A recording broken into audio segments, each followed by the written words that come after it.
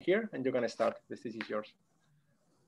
Okay, well, thank you very much for the nice introduction and, and thanks also to the organizer for giving me the opportunity to present uh, the work that we do at ICFO uh, uh, in this very nice, very nice workshop.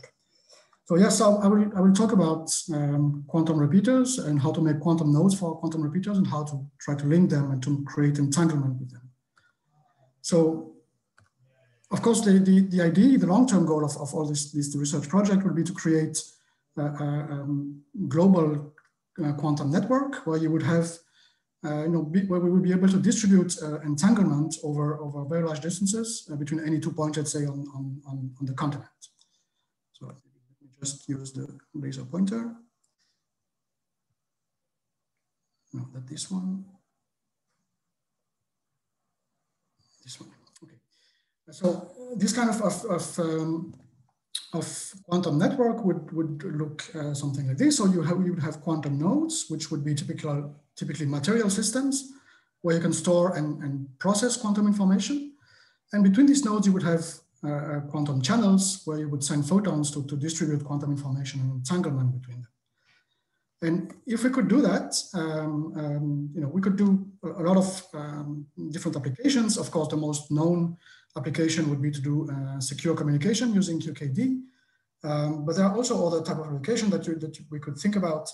Uh, for example, to, to, to, to, to connect quantum computers, to do secure cloud quantum computing, or other some maybe less well-known applications to, to make, for example, example telescope arrays or, or clock synchronization, um, improve clock synchronization. So I guess you will hear a bit more about these kind of applications in, in the talk of uh, Stephanie Wehner, which is I think on, on, on Thursday.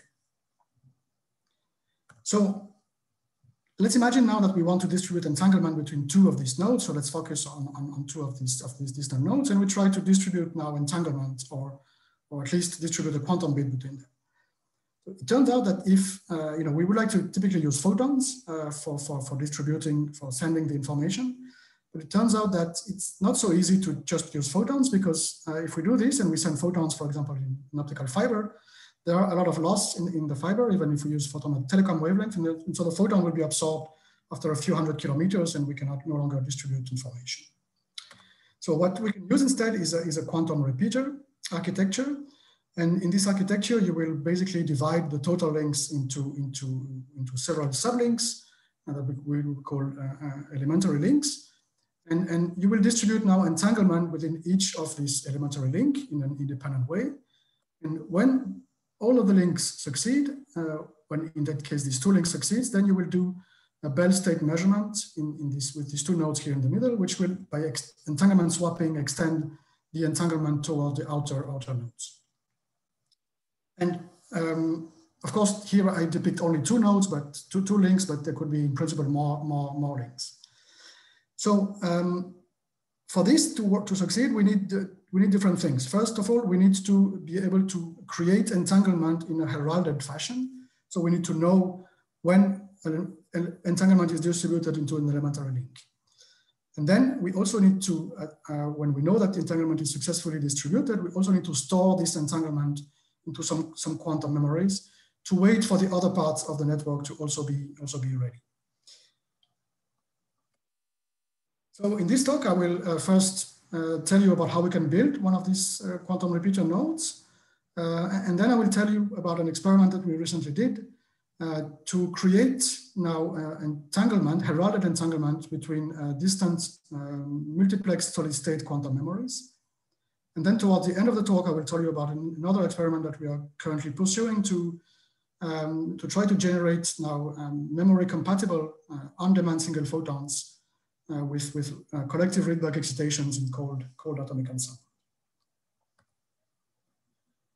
Okay, for quantum node, what do, what do we need? So the first thing that we would need for this quantum node is to be able to interact efficiently with light. So we would like to be able to create entanglement efficiently between photons and, and the matter qubits. And the photons ideally should be at telecom wavelengths because we want to send them over a long distance into optical fiber.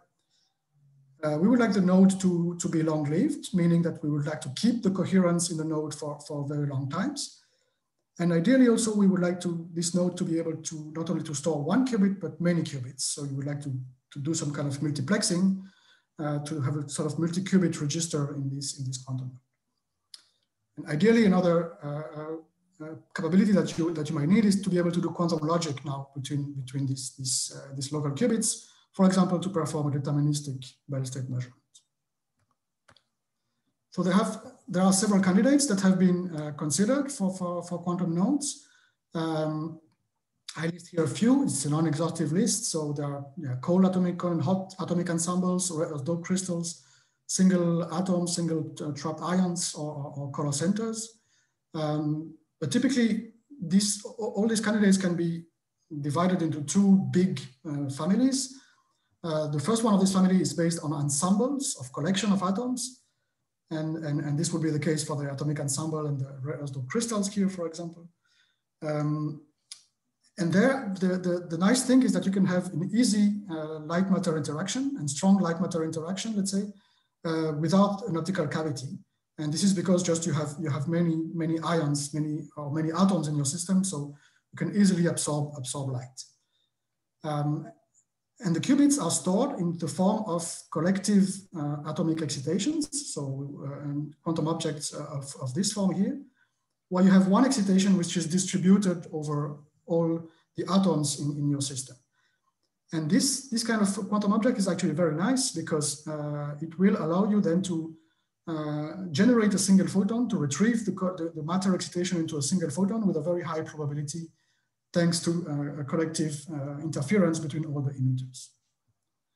And finally, a last uh, advantage, last great advantage of, of atomic ensembles is that you, because you have many atoms, you can also store, in principle, many, many modes, many, many qubits.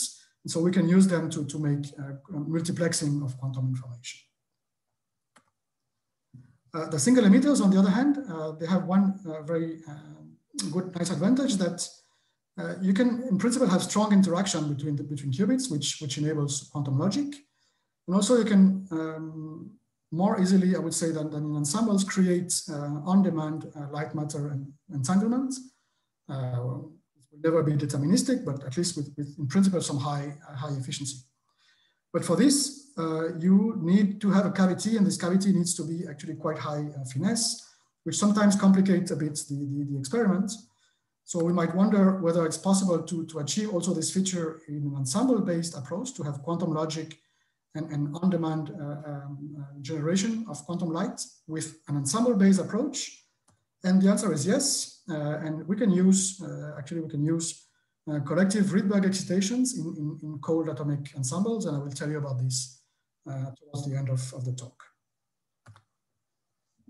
Okay, let's now look at how we can make create entanglement between between uh, these uh, these distant nodes.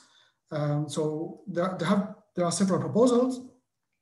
Uh, one proposal is to to is depicted here. The idea is that you would have um, two photon pair sources at each node, at node A and node B, and one of the photon you store it in the, into a quantum memory, and the other photon you send it into an optical fiber. Uh, and now you will pump these two sources uh, uh, coherently such that you generate a photon pair in, in, superposition of the two sources. And then these two photons now that go into the optical fibers, you will combine them at a central location uh, of the beam splitter here. And then you will wait for having a click in one of the detector. And if you have a click in the detector uh, uh, after this beam splitter, this will actually, the beam splitter will erase the information about the origin of the photon and if you have a click, you don't know if this photon came from the left or from the right. And what you will have is an actually an entangled state where you have collective excitation stored in this memory on, on, on memory A and no excitation on, on, in B and coherent superposition with, with the other way around. And uh, if we want this, if you want this entanglement to, to succeed, uh, you, you have to, to keep this phase here constant. So you, ha you have to control the phase uh, of the, in the propagation of the photons toward the beam splitter at, at the center. So this is a, uh, it's an entangled state. We create an entangled state. It's heralded, right? We have a click here that tells us, okay, now you are you have an entangled state, and and the two memories can in principle be uh, be, be, be far away. So this is actually very similar at the scheme that um, Duan Lukin, Cirac, and Zoller proposed in 2001. And which was also demonstrated with, with, with cold atoms in the group of, of Kimble and, and, and Jian-Wei Pan's more recently. Um, but it has the, the specific advantage that you can optimize the wavelength. So this source here can have can create two photons with different wavelengths, one which is compatible with your quantum memory, and one which could be telecom wavelengths to be sent over long distance in optical fiber. And also then you can take advantage of, of as we will see later, of, of the fact that some of the memories uh, that, that we will use will be temp naturally temporarily uh, multiplexed. So why does multiplexing help? So let's imagine uh, and let's remind us that we need to have heralded um, uh, entanglement. So this means that if you, you have a memory that can store only uh, one single mode, you would need to try to generate this, these photons. The photon needs to travel uh, to the central beam splitter. And then you have the information about if you had a click or not, had to travel back to the original node before you can try again, let's say. So you have a waiting time uh, L0 over C between two successive trials. And if now that these two memories, for example, are far away, uh, say 100 kilometers, this waiting time is actually quite long. It's 500 microseconds. And so this means that a particular uh, repeater working on this principle would, would have a repetition rate of only two kilohertz. And this is combined now to the fact that for each trial, the success probability is also quite low because you need to generate a photon and to transmit a photon and to detect it. And so the overall rate of, uh, of success rate of such an elementary link would actually be very low over a long distance. Now imagine that you can uh, have memories that store not only one mode, not only one qubit, but, but many. Uh, in that case, you could repeat many times during the communication time. So you could repeat n times. And this to, to first order will basically increase your probability to, to, to, to get a successful event by a factor of n. And so you will, um, at the end, increase your rate of entanglement by a factor of n. And n, in principle, uh, could actually be quite, quite large. And we will see that uh, in principle, it could be at least larger than a thousand and, and possibly even, even higher. So what do we need if we want to do such an experiment? Um, we first, uh, one first requirement is that we need to have a storage time in the memory uh, much longer than, than, than, L0 over C. And this is because we would like that, you know, when we have the click of, of, of the heralding, that we would like to still have the entanglement stored in the memory. If the memory time is shorter, then when we have a click, the entanglement would have gone already, and then we cannot use it for further, uh, for, for further operations. Uh, we need to have photon pair sources with you know, compatible with one mode compatible with the quantum memory, the other mode compatible with telecom. Uh, we need to store, uh, to have a multi-mode memory to store n modes. And this could be in time, but it could also be in, in frequency and in, in space. Um, and you need to be able to read out these modes now uh, um, independently and selectively. And of course, you need also to preserve the phase of, of all these modes. Okay, so let's, let's now uh, see how we can um, create now, generate entanglement between two, two solid state quantum, uh, quantum memories. First, first of all, let me introduce uh, the, the, system that, that we use. Um, so we, we use a, a rare earth uh, doped crystal, in particular a praseodymium doped crystal. And this is a system which is very nice because it has a large number of, of stationary atoms with optical and spin transitions. So here we don't need to, to trap the atom, they are naturally trapped in, in the solid. Um, and so we, we have, we have a spin transition. In that case, we have three uh, hyperfine spin states and three hyperfine excited states and coupled by an optical transition at 606 nanometer. And the coherence properties of the system is actually quite good. Um, if you cool them down to, uh, let's say, less than four Kelvin, sorry, the cryostat. So with praseodymium, we have typically a spin T2 of uh, coherence time of about one second. If we use uh, a suitable magnetic field, and an optical T2 around 150 microsecond. And this material, we like it. It's nice because uh, it has a nice structure to, to store information for a long time in the spin states.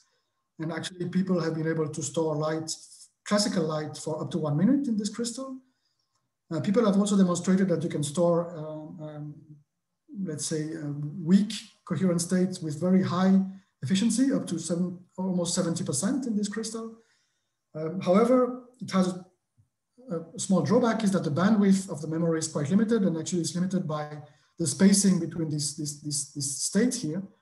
So the bandwidth is, of the memory is limited to around four megahertz, uh, which means that it will be actually quite challenging to create a quantum state of light resonant with this memory. And it will also be challenging to filter out the noise um, that when we will do the, the, the, quantum memory. I'll tell you about this later. So um, something else that I want to, to, to, to emphasize that this, um, this crystal have, you know, inhomogeneous broadening, we're in the solid state. So each ion has a slightly different um, resonance frequency. But the nice point is that this inhomogeneous broadening can be tailored. And we will see that it is, uh, how we can use that to, to now uh, uh, use it as a resource for, for, for multiplexing. And also we can actually use uh, this design to make integrated quantum memories because it's a solid state design. So we can in principle do integrated quantum memories and we have done some experiments towards this as well. So um, let's see now how we can store information in this, in this system. So let's imagine now that we have a two-level system to start with and it is inhomogeneous, inhomogeneously broadened, as, I, as I, I, mentioned before.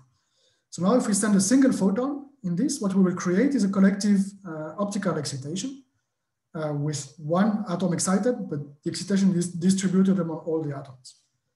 But now because of the uh, uh inhomogeneous broadening, this excitation will basically decay um, and, and dephase, and then the photon will be basically lost.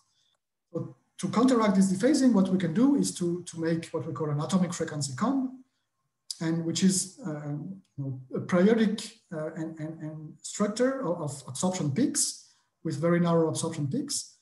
And then if we have such a structure, after some time, uh, which uh, one over delta, we will have periodic rephasing with time one over delta, let's say. And if we do things well, after the first rephasing, most of the light can come back, can, can be emitted and, and, and then we will have this collective uh, remission of, of, of the light in the forward mode. So the, this protocol is actually very nice because if you now come with a train of single photons, what you will have at the output is also a train of single photons. So it's inherently temporally uh, multi-mode. But this, this protocol up to now is, is what we call a fixed storage time quantum memory. So the, the photon is stored for a time one over delta. Um, um, but this one over delta is, is predetermined before, before you store the photon. So if you want to have, let's say, an on-demand readout, uh, what, what, you can, what you can do is while this photon is stored into the memory, you send a control pulse to now breaking down to the, to, the, to the spin state. And so now you transfer a collective optical excitation into a collective spin excitation and then you store it for some, for some time, and then you can read it out now on demand by sending a second control pulse, and then the photon will, will come back now on this transition. So this allows you to, to have on-demand uh, uh, readouts, um, and also to, to take advantage of the longer storage time. So in principle, now you can store uh, you can store uh, light for, for very long time in, in, this, in the spin states. This first measurement have, have been done uh, at a single photon level has been done actually at ICFO and, and, and also together in Geneva. And this is the challenge that I was telling you about is because these control pulse here are very close in frequency to the single photon. And so it's actually hard to, to, to be able to, to remove all the noise created by, by, these, by these frequencies, by these control pulses. Okay, now we have a memory. Let's see how we can now generate a, a source, uh, how we can make a source for, for quantum light. So the idea is that we use a spontaneous parametric Down conversion uh, in a cavity. And what we would like to have is a widely non-degenerate source with one photon around 606 nanometer, resonant with the memory, and the other photon at telecom. And so for this, we pump the source in, in the blue. And, and because it's in a cavity, we can have a very narrow band uh, spectrum of around two megahertz for, for, for, for the biphoton.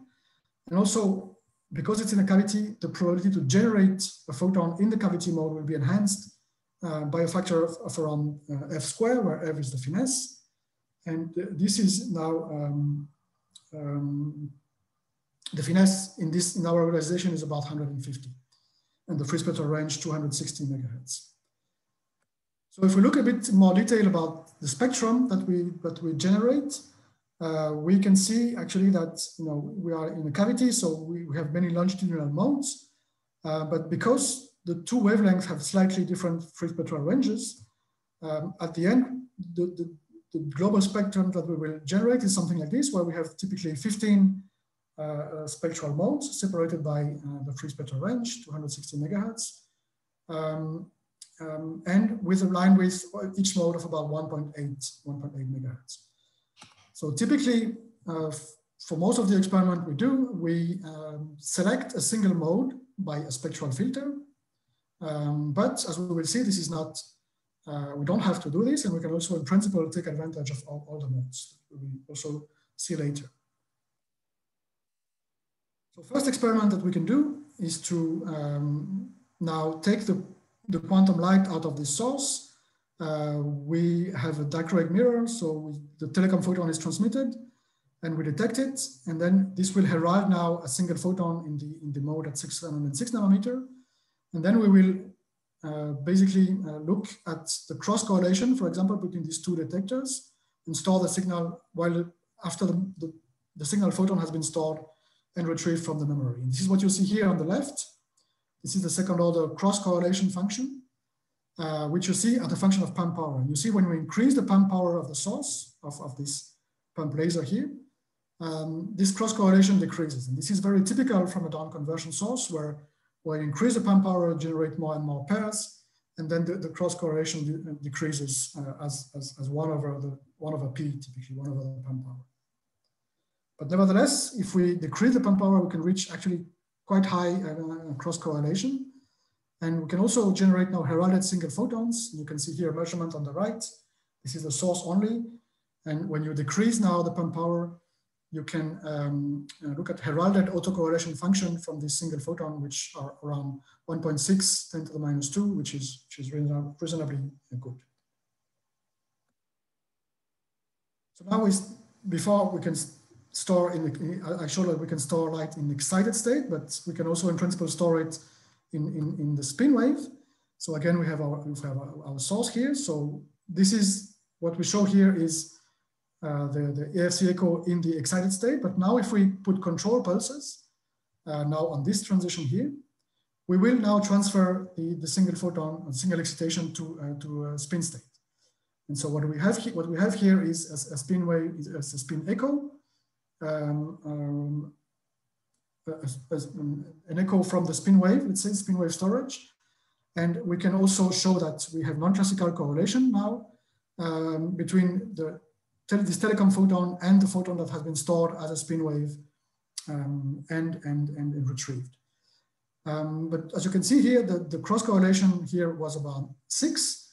So this is much lower than, than, than excited state. And the reason is that we have a bit of noise, which is generated by, by, this, by these control pulse.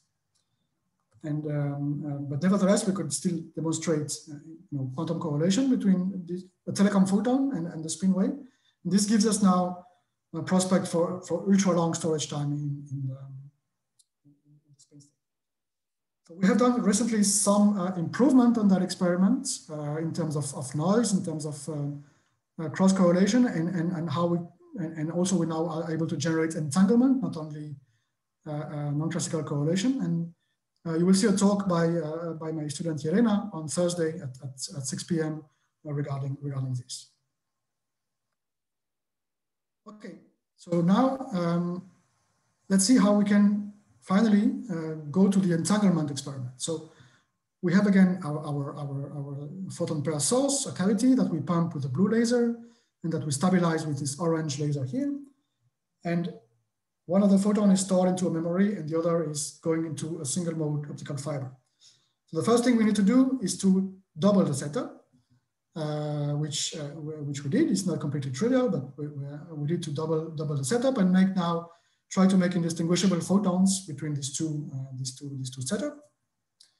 And now uh, uh, these two quantum memories now are in two different uh, laboratories and separated by 10 meters. Um, um, and in principle, they could be they could be they could be further away. So to create the entanglement, what we do now is that we combine these two modes uh, at telecom wavelength. We combine them at the beam splitter, and then we will detect um, clicks at the, at the outputs of this beam splitter. And if we have a click, then we, we see that we will, in principle, project the two, uh, the two memories into a state like this, one zero uh, plus zero one. So a state where you have one collective excitation shared between these two crystals um, 10 meters away in different laboratories. So again, here there is uh, this phase that I told you about uh, before. And so to control this phase, what we do is that we, we have a phase controller uh, in the form of a fiber stretcher. And, and, and then we can, we can uh, basically control, control this phase um, in, in this interferometer. So how do we now check that we have entanglement? So of course, in principle, we should have these states, right? But you know, in practice, we have to, co to control, to check that we obtain really these, these states. So the idea, which was actually proposed by Steven van Enk in this paper here, um, is to, to make a quantum tomography experiment. So we want to build uh, basically uh, the, the, density matrix of, of, of, this experiment. So we want to uh, um, um, measure and, and, and compute these P's here, Pij, which is the, the population, um, the conditional probability based on a heralding uh, to have uh, photons, uh, let's say, in, in, in the mode A and, and B respectively. So for example, P01 would be the, the probability to have a photon uh, zero in, in, memory A and one in memory B, and, and so on. And, and D now would be the coherence between these, uh, these, these, these, two. So you would need to measure some kind of interference fringe uh, with a visibility V, and then you can compute the, the, the D in this way. And if you can do that, then you can, you can calculate the concurrence uh, of this density matrix. And if this concurrence is uh, larger than zero, then you have entanglement. Uh, in principle, the maximum concurrence should be, should be one, but as long as it is larger than zero, you have entanglement. And so the conditions to, to get entanglement is actually quite a stringent uh, um, uh, threshold here. So we need to have a, a, visibility quite high of order of one, doesn't need to be one, but it needs to be reasonably high. And you need to be in the single excitation regime. So you need to, when you, once you have a click, you need to make sure that you have at most one excitation stored in these, these two memories here.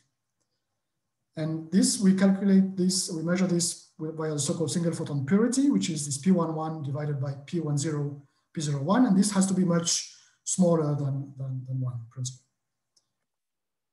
So how, how do we measure this? Um, the diagonal elements, we will just actually put photon detectors at the output of the two memories and measure the photon emitted by the two quantum memories.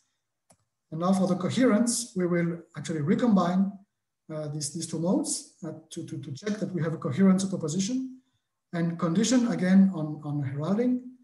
Uh, we uh, will now uh, try to, to, to, look at, at these, the, the, the, the, the clicks on one of these detector as a function of, of this phase Okay, here are the results. So let's we start by actually measuring the, the, the P11 and in the, the, the let's say the, the, single photon purity. And in that case, we measure HC of 3.6, 10 to the minus 2, which means that condition on herald, the probability to have two excitations is, is, is less than 4%. And then we look whether we really have a coherent superposition into, into these two um, ensembles. And indeed, we can see that we have a nice interference fringe uh, with a visibility of around 84%. And with this, we can reconstruct the density matrix um, and we can compute the concurrence. And we see that with this data, the concurrence is around 10 to the minus 2, uh, which is not so large, but it's definitely uh, larger. Um, sorry, it's definitely definitely larger than, than, than zero. So this means that we do have entanglement in the system, we do create a state with uh, one single collective excitation shared between now these two crystals, which are, which are 10 meters away. So what, what we see actually, the reason why this, this, this concurrence is very small is that because we have a very large um, vacuum component in, in this state. And the vacuum component is there for, for mainly two reasons. First of all, we lose a lot of photons from the memory to the detector. And so if we compensate for this uh, um, and, and we look at the concurrence now in the crystal, we gain more or less a factor of 10. So we have now um, around 10 to minus one uh, concurrence in, in the crystal. And the rest of, of, of the concurrence is due to the fact that we don't have perfect visibility and uh, in, in, in, particular to the fact that the heralding efficiency of the photon source is not one, but it's only 25%. So this means that condition on herald, we have only 0.25 uh, photon arriving in front of the memory. And this is the main reason why we have a, we have a, a, low concurrence. But I want to stress here that actually this vacuum term in in a repeater architecture um, would not affect the final fidelity of the measurement, but it would only affect the rate because this we would actually uh, purify this, this vacuum by, by doing some post-selection at the end of the repeater.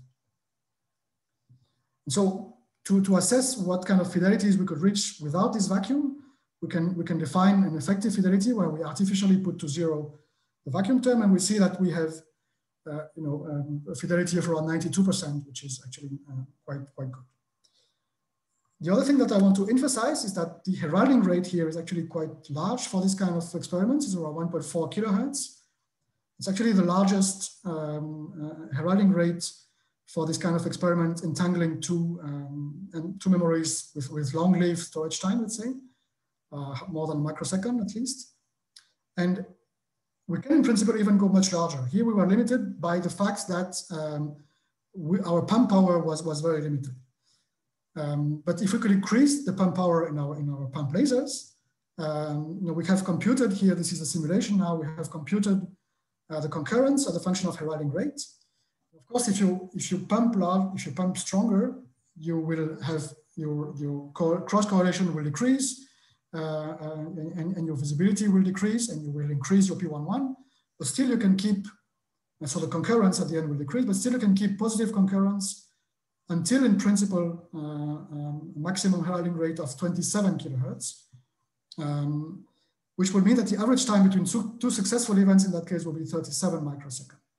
And this is computed now you know, with the current memory sources and, and link performances, and it could even be better if we increase, for example, this, this heralding um, efficiency. And so the current experiment is actually here, so we, we can in principle still increase a lot the, the heralding rate. One, another thing that we need to do, uh, of course, if we want to distribute now entanglement over long distance is to increase the storage time.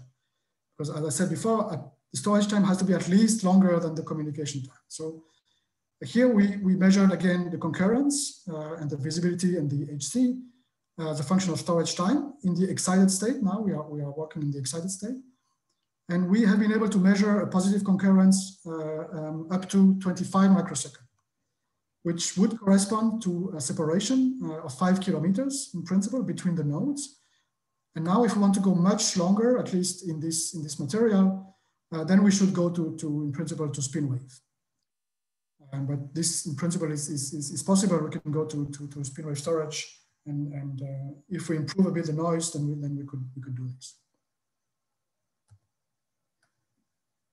And then the, the last point I want to say about, about that experiment is that um, we, we take advantage of the fact that it's, that it's temporarily uh, multimode. And, and for this, uh, um, uh, the, way, the way we can, uh, we can measure this is actually to, um, you know, we, we, will simulate to have two memories distant by, by, by five kilometers, which means that in that case, the communication time would be 25 microsecond. Um, and so then we will, we will kind of um, split our data in, in trunks of 25 microsecond uh, storage time. So if we had a single mode memory, we could do only one trial during this 25 microseconds. So then this will be this, this, this, this point uh, uh, here in this curve. If we have all the modes that we have in our memories, in that case, in our case, we have 62 modes, then we can try 62 times during this, this 25 microsecond. And this at the end will in increase the heralding rate a lot. So we, what we plot here is the concurrence together with the heralding rate as a function of the number of modes that you consider. And we see that the concurrence is more or less constant and the heralding rate is increasing uh, linearly uh, with the number of nodes. So this is really, it shows really the advantage of having now this, this multi-mode memory, because if you, if you had a memory that was only a single mode over these five kilometers of optical fibers at least, you would only be able to, to, to have a heralding rate of a few tens of hertz, while with, uh, with our multiple memories, you could go to around 800 hertz. Okay, so this is now time multiplexing, what I showed up to now, but in principle, we can also use, as I mentioned earlier, other type of multiplexing. Uh, so for example, uh, we could use frequency multiplexing. So the idea now is that, uh, I remind you that we have this filter up to now that, that you know, uh, select a single spectral mode, but we can also remove this filter and then take the full spectrum of the photon. But if we do that, we also need actually to generate not only one uh, atomic frequency comb at one frequency, but many different atomic frequency combs at, at different frequency. So now we have also 15 quantum memories at different frequencies in our in our in our crystal. And uh, we do that actually in, in an integrated waveguide quantum memories uh, uh, made with uh, laser femtosecond laser writing.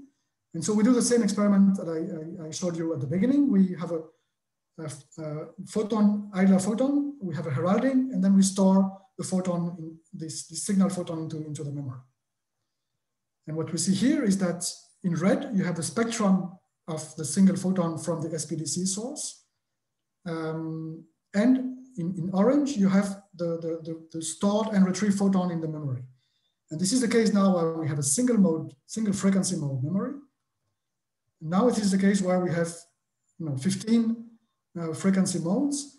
Um, and now we can see that you can really, in principle, store the full spectrum of, of the photon. And so we have been able to store uh, 15 frequency modes together, actually in that experiment with nine temporal modes. In principle, we could also do, uh, do better. So, but in, in total for that experiment, it was 135 modes that we could already uh, store in, in, in, that, in that memory.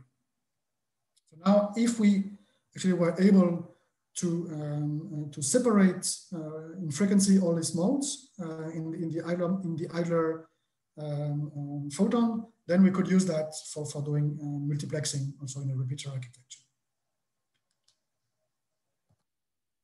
So if we dream now a little bit, you know, see what, what kind of, how, how many modes we could store in this small crystal, you know, two millimeter by, by five millimeter, five millimeter by two millimeter. Um, let's say 20 temporal modes, uh, it's, uh, I think it's something that we can easily do. We did actually more, but let's say if you want to keep very high efficiency, let's, let's say we can take 20 temporal modes. 20 frequency modes is, I think, really uh, principle doable as well. And 100 spatial modes, so this could be actually, it's a 10 by 10 arrays of memories. So this, if we use waveguides, for example, we could imagine easily to go to a 10 by 10 arrays. Now, if you, if you multiply all of these modes, you know, you would have something like 40,000 modes already. And so these are a lot of modes uh, which are stored. So this would actually boost um, uh, the entangling rate of, of, an elementary link by, by this kind of, of, of distance of 40,000 modes. You, at least if you go to, to, to, to long distance. So, you know, this will require still, I guess, lots of engineering to go there, uh, but I'm confident that if that we can in principle have a large number of modes in these memories and that we can really use that to, to, to, to create a practical quantum repeater then over long distance. Um, on the other hand, uh, this does not prevent us to also look uh, a bit further what we could do even better. Uh, because so up to now I used, um, you know, um, probabilistic sources. And we could try to see what we could do if we use not probabilistic sources, but more deterministic sources, on-demand sources of, of, of, single photons or, or, photon pairs. And this is what I will tell you now, how we can do that um, in, in, uh, in the, with Rydberg atoms in the last 10 minutes or so of, of, of my talk. So um, the problem of having probabilistic uh, sources, as, as, I, as I mentioned before, um, you, you generate this kind of two-mode squeeze state with probabilistic sources, with SPDC, also with, with the LCZ architecture. And then, um, as I showed before, the, the cross correlation um, between, the, between the two photons would uh, you know, decay uh, as one over P, where P is the, the creation probability. And so this means also that the fidelity of the entanglement will then also decay as you increase uh, uh, your, your creation probability, as, as we also saw, saw before. So we have this inherent trade-off now between fidelity of the entanglement and the efficiency with which you can create this, this entanglement. Um, there is one way out of this, and, and this way out is could be to use uh, could be to use deterministic um, photon photon uh, single photon sources, and so then we could use a repeater architecture which is uh, similar to the one that we used before, but that instead which uses instead of photon pair sources, which uses single photon sources. Now, here in each mode we have a single photon source, uh, and we emit a single photon, and then we have a beam splitter, and part of this single photon will be stored in the memory, and some other part will be transmitted now uh, in the optical fibers to go to the central location and have a click. So in that case, the conditional states will be with some probability you have vacuum, because it could be that the two photons have been transmitted here, and so you have nothing stored in the memory. But you can also have with this, with this uh, probability alpha square, you can also have now uh, this entangled state that, that, that you want, no? where you have one uh, photon here and no here, and, and the other way uh, around. So this is again an entangled state of the, of the two memories. And again, this, this, this vacuum mode can be um, um, purified at the end um, by, by post-selection at the end of the, of the repeater chain. So what we need to have now is um, to have an on-demand um, photon, photon, single photon source, which is compatible in wavelength and spectrum with the quantum memory, um, and which generate indistinguishable photons. And this is actually a, a quite hard problems, and, and, there are several options that you can use to, to, to solve these problems. Uh, we have seen yeah, before you can you can generate single photons very well with, with color centers in diamond or with trapped ions. In that case, you don't, you don't have a, a, a multimode memory directly available uh, at, at the wavelength of, of, of this, uh, um, uh, of this um, single emitters. So you will need to do frequency conversion. We could also in principle use quantum dots, uh, which can be tuned to some extent, but then the, the spectrum is, is quite large and it's hard, actually hard to find a memory which is well, well suited for this. And there are other options, which I would call you know, naturally resonant single photon sources, where you use the same species for the single photon and for the ensemble-based memory. This could be single trap atoms, for example, as is done in, in, in Rempe's group at MPQ, um, or, or, single uh, rare earth ions, which is also done actually at MPQ and also in our, in our lab, for example. But what I want to tell you today is another uh, way that we could do this, keeping the, the ensemble approach. And this is now using single uh, Rydberg excitation in the atomic cloud. So what is a Rydberg atom? Um, a Rydberg atom is an atom excited to a very high level, uh, high principal quantum number n. And um, if you increase uh, an atom to, to a Rydberg state, then uh, it will have very high dipole moment between, uh, between neighboring states, between adjacent states, which will scale as n square, where, where, where n is the, the principal quantum number. And now if you take two of these atoms and you put them uh, close together, they will strongly interact via van der Waals interaction. And if you put them close enough, um, the interaction will prevent uh, the excitation of, of two of these ions in, in, in the Rydberg state, two of these atoms in the Rydberg state. This is what we call Rydberg uh, blockade. And so if you now have an ensemble of atoms and you have a collection of atoms, but in the radius of this uh, blockade sphere, radius um, RB, um, you could, in principle, only uh, excite only one uh, atom in, within this, this, this, this, radius. So if you have an ensemble which is small enough, you could, in principle, have only one excitation inside, inside this, um, this, this sample. And so you would have, again, a, Rydberg, a collective excitation, but now with a Rydberg state. Um, uh, such that, um, yeah, in principle, you can, you can create on, only one. So this is um, our setup, uh, how we can how we can um, generate that in the lab. We have laser cooled 87 rubidium uh, atoms uh, that we, we trap in a dipole trap, a small dipole trap. Um, and, and then we excite them um, to Rydberg level n equal 90, which where we have a Rydberg blockade radius of around 13 uh, micrometer. And then this, this probe size here uh, is is around 6.5 micrometers. So we have in principle a single uh, longitudinal, um, um, single sphere in a longitudinal mode, let's say. We are a single mode approximation. And then we can try to generate photons. So this has been actually not only done by us, but by, by many people uh, already in the past, uh, pioneered by, by, by, uh, by Vuletic, uh, Kuzmich, uh, Adams, and, and, and all these, these people here. Um, so what we do is that we do an off resonant excitation. So we have a probe laser and, and a coupling laser that we generate off to, to excite off resonantly to the Rydberg states. And we generate a Rydberg excitation, can store it for a while, and then we retrieve it. And then we have a single photon uh, at the output. So we see here a temporal profile of this. So this would be the, uh, um, uh, the weak probe that we have at the beginning. And the control pulse now is switched off during this period here. And then we, we have the, the single photon coming out at, at, at, the, at the output here when we switch on the control pulse again. And now we can do a Hanbury Brown and Twiss measurement to see that it's really a single photon. So we take this single photon, we put it into a beam splitter, and we look at the coincidences between these two detectors, and we measure an autocorrelation function. And we see that actually it's, it's much, much, much smaller than one. It's around between 0.2 and 0.3 in our case. And we, we can plot this G2 as a function of the probability to generate a photon, which in our case is around 10, between 10 and can be up to up to 20%, I would say. Um, so we see that we, we, keep with a single photon over all the, all the range of, of probabilities. So the single photon is good. It's not, uh, it's not um, extremely impressive in terms of G2.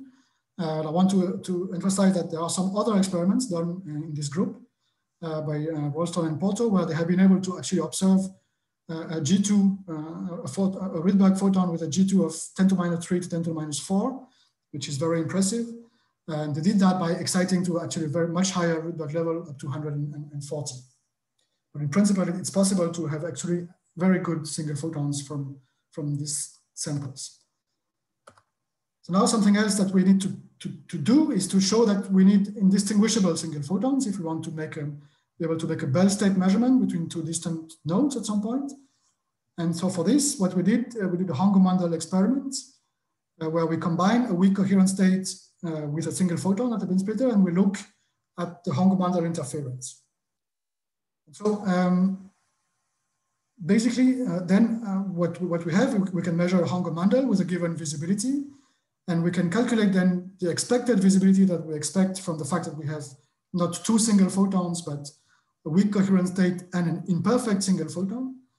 And the difference between the measured value and these expected values will, will give us actually the indistinguishability uh, of, of our Rydberg photon with a weak coherent state. And what we plot here is the indistinguishability as a function of the detection window. And we see that when we have a detection window of 500 nanosecond, which takes the full photon, um, and then we, we basically have 90% indistinguishability. And when we take a smaller window, we can go up to 99, 98, 99%. And so this means that our photons are mostly indistinguishable. And we think that most of the indistinguishability that, we, that remains here is actually due to the line width of the weak coherent state that we, that we use.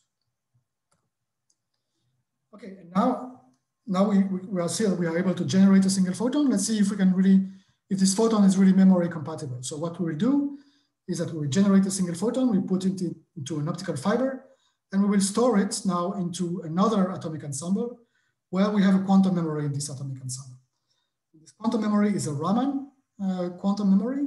So when the single photon arrives, uh, we have a control pulse of resonant control pulse now that will map now the single photon a spin excitation now into, into this, this S state. And we can store it for a while and then we read it, read it out with another control pulse and, and the single photon will be, will be emitted. And this is what we are actually doing uh, right now in the lab. These are um, pre preliminary data. So what we see here is a temporal profile uh, as a function of time um, of uh, the single uh, photon generated by our Rydberg ensemble. And now, uh, when we uh, store it into the Raman memory, we can see that we have some, still some part which is transmitted, but we have some part which is now stored and retrieved in, in, in the Raman memory. So we can actually um, um, store and retrieve this photon with a total efficiency of about 22%. Um, uh, um, and with more importantly, with a signal to noise ratio uh, around 15. So actually the signal to noise ratio is very good, even though at the end we don't have so many photon at, at the input because we have a lot of loss in our in our in our setup. You have about you know 0.02 photon at the input of, of our atomic ensemble, but nevertheless we can still retrieve it with a very high uh, signal to noise ratio.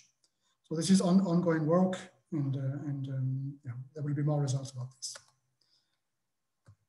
Okay, so let me now um, arrive to the to the conclusion. Um, so I showed you that you know, we can do nice, very nice things with, with solid state uh, rare earth-based quantum memories. They are very excellent multi-mode quantum memories. We have shown that we can um, perform heralded entanglements between, uh, between remote uh, crystals. Uh, in our case, they were 10 meters uh, away, but our scheme is, is really extendable to longer distances. Uh, although for this, we most probably need to improve the performances in terms of efficiency, in terms of storage time and in terms of larger of mode, number of modes, but this is really one of our goals to, to go towards large scale inventory uh, networks. And then I also showed you that you know, using Rydberg states and, and cold atomic ensembles, we can in principle uh, um, uh, generate a single photon deterministically, which are indistinguishable and which are also compatible with, with a quantum memory. And I have shown you a first uh, experiment where we can store now one of these Rydberg photon into an atomic memory. So where, where do we go from, from, from here? Um, so for a long time, actually, I had, I had this uh, I had this as an outlook in my in, in my talk uh, that we wanted to do this this experiment. So now, actually, we, we, have done this experiment. So we have to look at the further steps towards a quantum repeater. So one one first step is really to try to go to a long distance, uh, including outside the lab. We want to make a demonstration also outside outside the lab, uh, over tens tens of kilometers.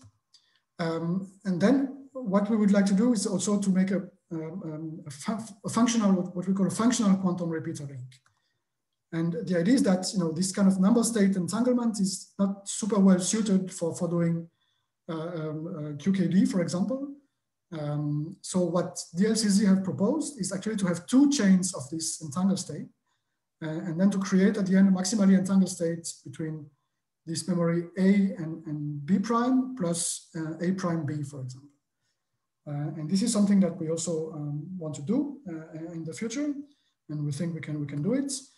And also something we think we can do it is um, uh, to, to, perform our entanglement swapping between two repeater links, which actually this still has never been done uh, with, with, with um, any system as far as I know. Um, so yeah, it's actually this you know, making a quantum repeater is actually harder than we thought uh, 10 years ago, but I think now we, we have laid really the, the essential foundations and we are closer to, to, to, to make a quantum repeater with, with, with the resources that, uh, that we have. Okay, let me uh, finish now and thanks um, uh, my group. Uh, this is a very old picture, actually. It's been a while since we haven't been able to take a picture that close, you know, without masks. Uh, I hope we can do that soon again. And actually some people uh, here which are now at MPQ, now Pau and, and, and Emanuele, for example, at our postdocs in, in Gerhard Rempe's group. And yeah, I want to thank all, all the people in my group and um, all the funders as well. And also thank you for, for your attention. So uh, thank you very much, uh, de Riedmatten, for your nice talk.